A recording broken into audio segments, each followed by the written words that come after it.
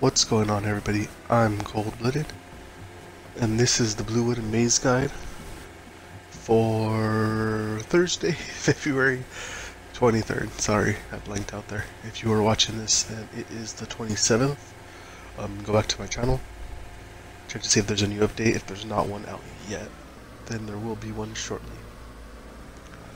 Um, that being said, uh, we are going to the right when we enter, stay to the left after this. Um, pretty straightforward here, but it will get confusing in a little while. Okay, we're going to be making a right, then we're going to zigzag a little bit.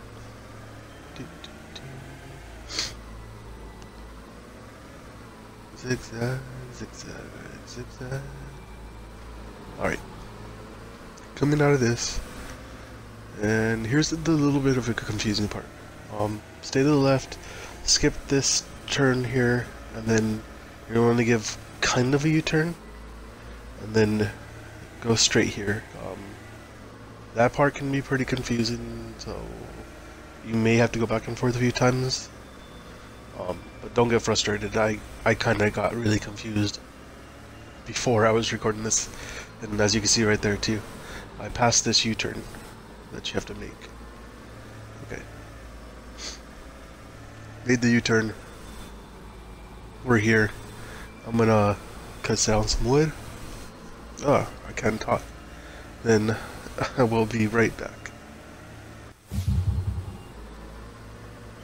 Okay.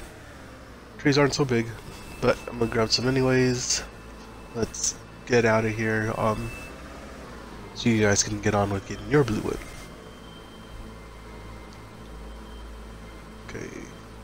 We're going to have to make this left turn, which is actually going to be a U-turn right here. The only other time you'll go any other way is gonna, when you go straight. So this will be kind of teaching you guys. Either you go left here for the U-turn, or you're going to keep going straight. Those are the only two um, paths right there. And there's a bunch of turns, which make it seem confusing, but it's really simple. You only have to memorize two. Okay, here's the really confusing part. When you come out of there, you have to go straight. Then go to the left. Then go to the right. And I got myself really mixed around when I was recording. Well, when I was first running the path to record it. I had to back up to uh, right after the U-turn and then come out so I could get my bearings. Okay, so here's the zigzag. Zigzag. Okay, then we're gonna go left. Not right, left. Keep going, just keep swimming. Okay. Skip this left-hand turn, go to the right, and we're home free.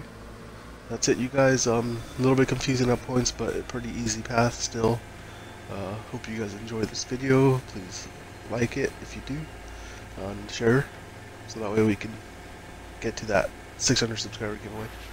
But you guys have a great day.